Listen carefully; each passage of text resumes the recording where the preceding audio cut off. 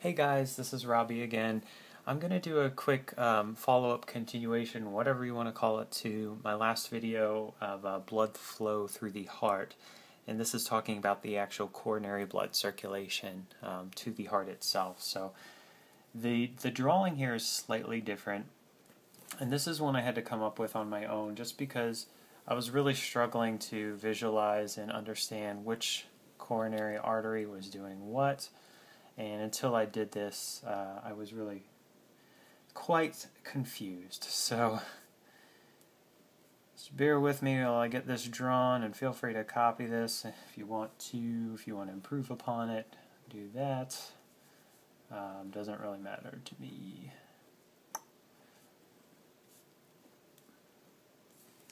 Okay, there's our basic heart. Uh, not trying to make anything too complicated here because I just want to get the blood flow down. So there's our superior inferior vena cava, our aortic arch, and then pulmonary trunk and pulmonary uh, artery. So you basically have two sides of blood flow through the heart um, to the actual heart. Uh, we're going to have a right and left side. So we're going to start off with arterial flow. And with the arterial flow, we're going to have a right side and we're also going to have a left side. So we're going to start off with the right. And if you get this basic schema down in your head, and then when you actually see a human heart or just see a heart in general, um, in pictures, whatever, hopefully it'll help get you more acclimated to where things are. So, you know, blood is going to be pumped from the lungs to the through the uh, pulmonary veins into the right atrium I said right and pointed to the left, the left atrium, um, to the left ventricle, and out to the rest of the heart, or the rest of the body. But before it goes to the rest of the body, it's going to give some offshoots to give pretty much the freshest blood right directly to the heart itself. Um, heart is kind of important. It's doing some important stuff for us, so it wants to keep that well supplied.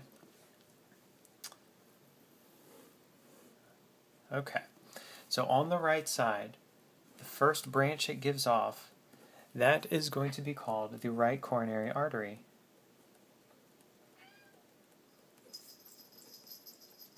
That's the cat in the background, yes. Um, the right coronary artery actually loops around back, and it doesn't really change names, so it's the right coronary. Oh, come on, cat. She just wanted to be back for this one too. Okay. Peace. They always sleep except when I'm trying to do some kind of educational video. What the hell? All right. So right coronary artery on the front, and again, this is an anterior view, so um, you're looking at the front side. It loops around back. Any dotted lines means that it's on the back of the heart. So it loops around back as well, and that's all the right coronary artery. So two, um, it gives off some branches. The first branch is the right marginal branch of the right coronary artery. You might just hear that termed as the marginal artery. And then three is the posterior interventricular branch. You might hear that as posterior interventricular artery. Um, either way, it's on the back side, posterior, and it's running in between the two ventricles. That's how you can find it. So on the left side, we have another system going on. I'm going to draw that in just like this pinkish color just to stand out. Um, so this first part here, that's going to be called the left I don't know if you can see the numbers too, sorry. Uh, left coronary artery. And the left coronary artery isn't really that long. It um, comes out and then it pretty much branches off immediately. So it's going to give off a branch that comes down the front of the heart or the anterior side on the middle. It's going to loop around back and then anastomose with the posterior interventricular artery. Um, and that part is called the anterior interventricular artery. Just going to abbreviate a little bit here.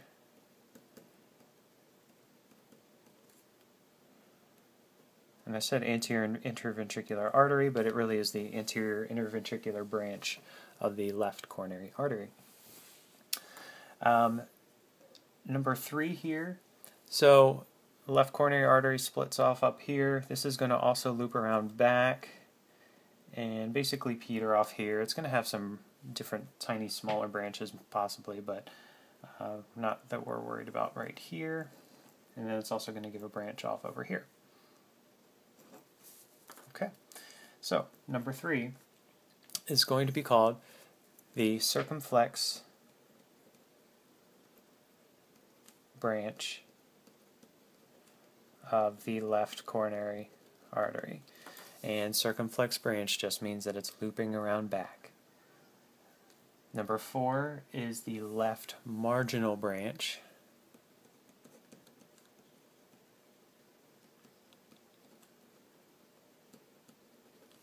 of the left coronary artery. So just like you have a right marginal, you have a left marginal branch as well. So that's the arterial flow. If you can do that a few times and get it down, you start to make sense of what's going on. It's really not too complicated. Um, it's complicated, but it's it's it's simple if you memorize the diagram a little bit. Um, so the venous flow, uh, we have all blood, basically no matter where it's coming from in the body, it's trying to find its way back to the right atrium of the heart. So with coronary blood flow as well, we're not really going to have any kind of difference there. Um, drawing all this in a dotted line, we're going to call this the coronary sinus. And we're going to label it A. Sorry, I don't know why I actually wrote it on the heart, but whatever. So again, just remember the coronary sinus is dumping into the right atrium.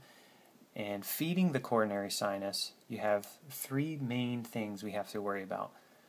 The first is called the great cardiac vein, and that's huge.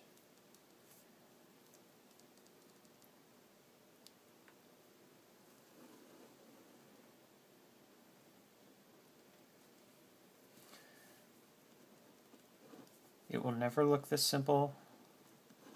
Just drew A, meant to draw B. Okay, so B is our great, can't even see that, sorry, um, great cardiac vein, and I think I can sometimes be called the great coronary vein, but I'm not positive. You, know, you might want to double check that, but uh, we learned it as great cardiac vein. That's the main supplier the coronary sinus. It's draining from the whole left side of the heart. So it's draining from the anterior interventricular artery. It's draining um, from the whole left side as well, the left marginal. It's going to have some little offshoots here uh, that you can really look at in an atlas and see well. Um, the main one though, great coronary sinus, comes around here from the left circumflex artery, loops around back, and basically goes right into the coronary sinus. So, C and D, C is going to be our middle cardiac vein, and D is going to be our small cardiac vein. The middle drains the middle part of the heart. That's how I remember it. And remember, with venous flow, it's all coming this way towards the sinus. Um, it's on the back side of the heart,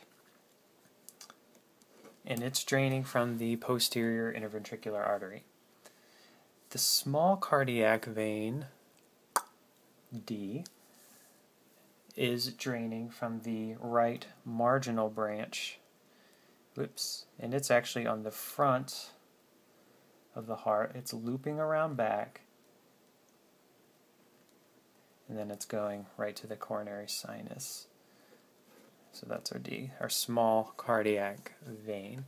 So I do hope this has helped you a little bit. Um, just go over it several times and it will help, I think, um, at least just put things in, in context in your head as far as where it is. So just remember, if you can break it down and even do these diagrams separately, do one of just the right um, arterial flow, do one of the left arterial flow, and then do one of the venous flow as well. And just draw them separately, draw them together, draw it all the time. The more you do it, the, the better you'll come to understand and remember it. So good luck studying. Hope this is helpful.